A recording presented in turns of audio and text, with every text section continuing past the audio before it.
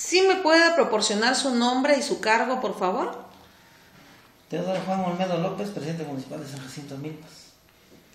Señor presidente, sí me podría, ahora sí que nos podría dar a conocer acerca de los trabajos que tiene contemplados a ejecutar en este en este periodo que es del 2013. Bueno, tenemos contemplado ahorita primero va a terminar la Casa de la Cultura, Alberto Castillo. Segundo, tenemos que hacer eh, la remodelación del atrio de la iglesia.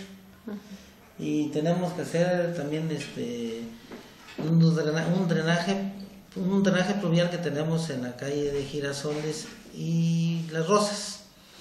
Tenemos la otra también para, bueno, estamos gestionando a través de, de gobierno federal eh, unas encementadas.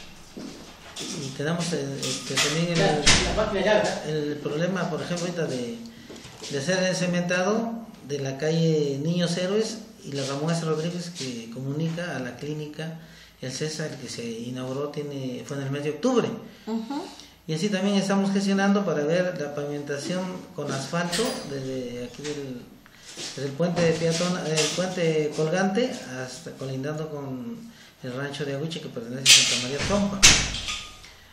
Eh, y así pues tenemos varias otras obras ya programadas, lo que sea que también estamos también ver, eh, hacer cuánto nos, el recurso que nos llegó y también así también podernos enfocar en ciertas obras o hasta dónde vamos a poder alcanzar la meta de obras, dado que es el último año y tenemos que cerrar también el ejercicio antes de, que termine diciembre, tenemos que cerrar el ejercicio a lo mejor en septiembre, para que no tiempo también eh, tener toda la documentación para la entrega-recepción que tenemos que hacer.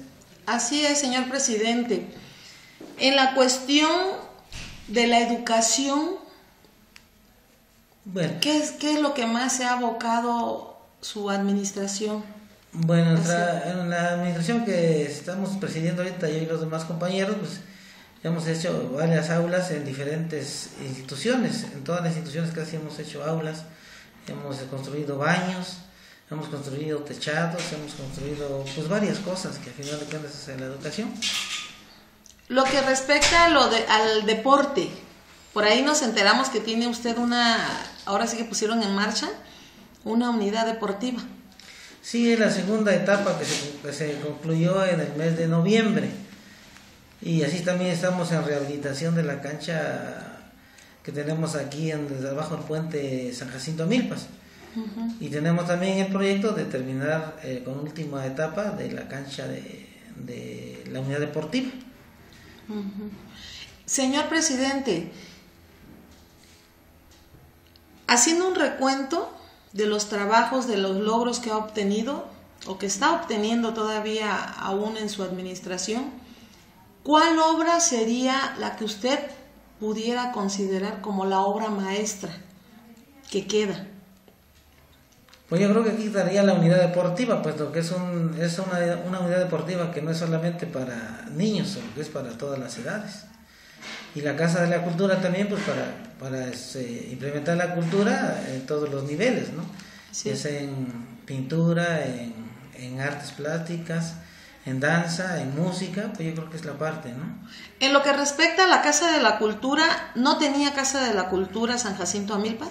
Sí tenía, yo creo que esa tiene 21 años que se, que se echó a andar la Casa de la Cultura, eh, y entonces ahorita lo que pasa es que no era, era una casa, una casa habitación y no cumplía también con los requisitos para una casa de la cultura. Entonces tuvimos que demolerla y empezarla a, este, hacerla nueva.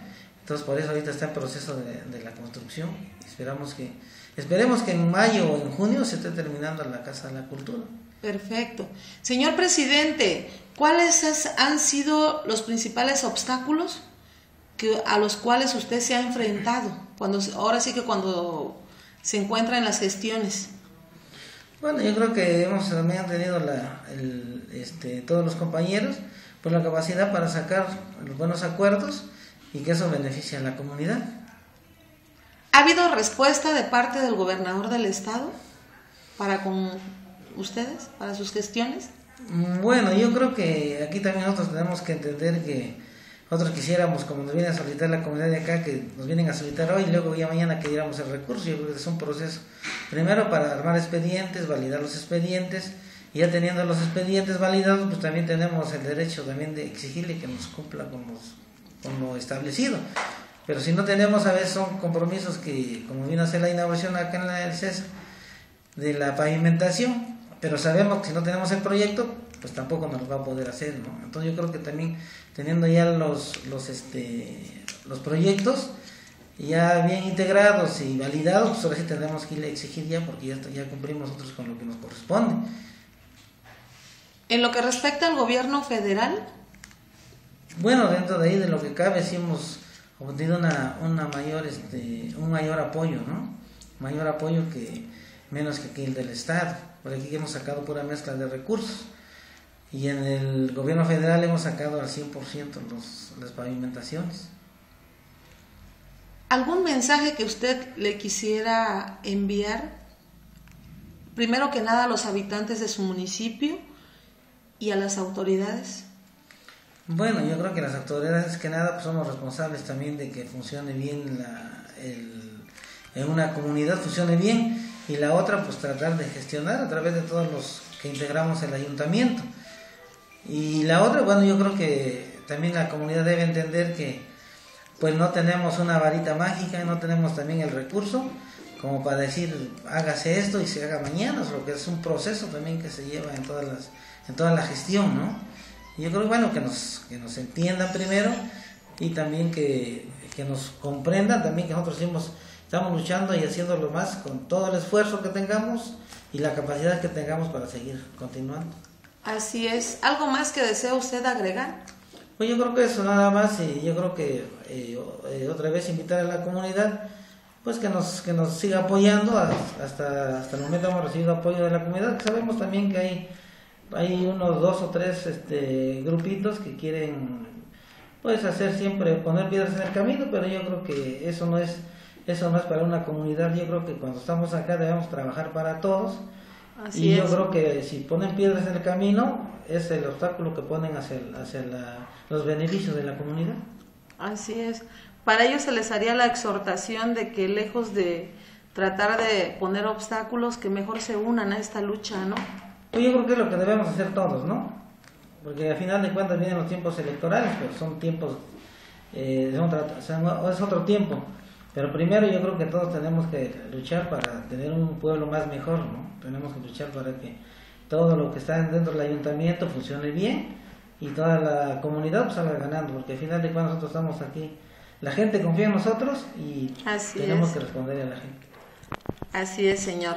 Hasta ahora sí que muchísimas gracias por, por, por esta entrevista y pues estamos para servirle. Gracias a ustedes que se interesan también por publicar los los avances que tienen toda todos los pueblos.